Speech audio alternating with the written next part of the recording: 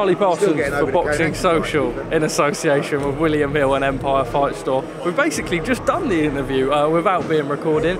Eddie, Edgar Berlanga, your thoughts? Uh, a little bit underwhelming, perhaps? I don't think so. No, I mean, I think for 12 months out of the ring, um, three knockdowns. I mean, the last round, he just went a bit quiet from. By the way, I'm not on fire. That's some smoke machine going up here. If you get, um, it just went a bit quiet from what round six to 11, and I gave Quigley probably four rounds on the spin, really. Um, but big last round, and every time Quigley engaged with him, he was in trouble and, and Quigley boxed smart and boxed off the back foot was very frustrating but it's a good solid 12 rounds for Edgar Berlanga and I think a good performance all in all Obviously, a lot of Edgar's building up was all on those first round knockouts. Um, maybe struggled to close the distance a little bit tonight. I mean, there were times where he switched on it at like the last round and he was excellent. I think when he let his hands go he had Quigley in trouble all the time.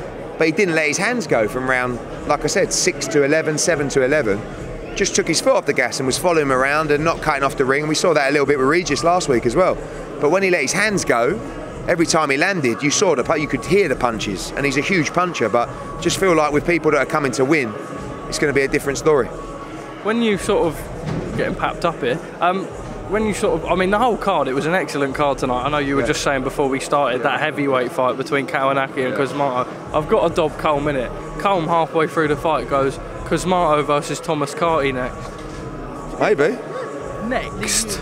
Maybe. I think that's the most random shout ever. By the way, shout out Thomas Carty, but do you not think that's the most random matchmaking At ever? the end of the day, Adam Kownacki is definitely not the fighter that he once was. So, and listen, Joe Cusumano's a good heavyweight, but he's not a world-class heavyweight at all.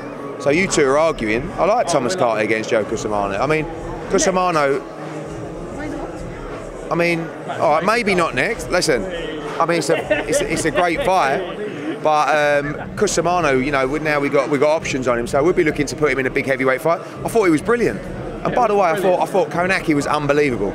I mean, he's you know, at times you wanted to see him out of the fight, and then you, you'd see him find a way back in the fight. Maybe could have been stopped a little bit earlier. I would like to see the towel go in a little bit earlier.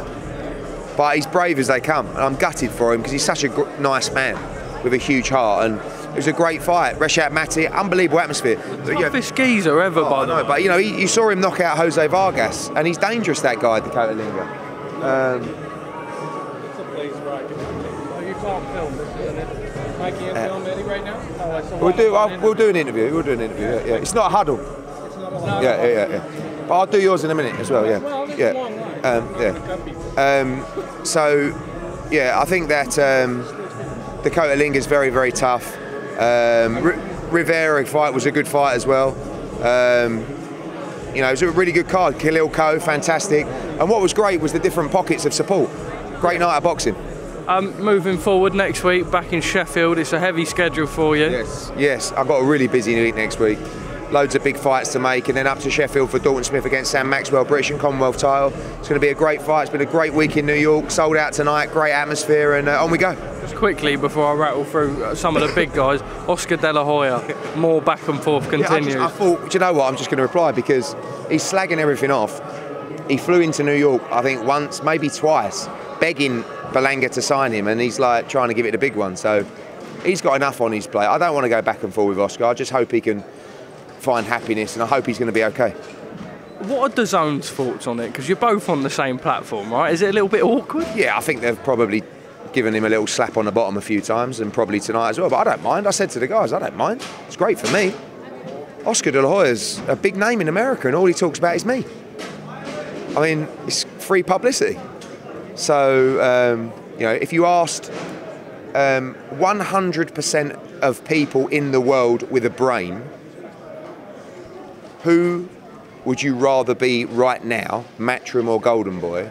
I would say out of that 100%, 100% would say Matchroom. Bash. Um, quickly, Anthony Joshua, has anything moved from this morning? I know the contract was going to be sent out. yeah, Any? Dillian's team have the contract. Obviously, we're not going to ask them to sign it today, but we need them to come back in the next 24 hours on it. We've got two other fighters ready to sign the contract to go August 12th, but we'll see what happens. Hopefully, it's Dillian Whyte. I have my doubts, but if not, we'll be ready to announce next week. Eubank Junior Benn, any update? No. Eduardo, thank you very much, mate.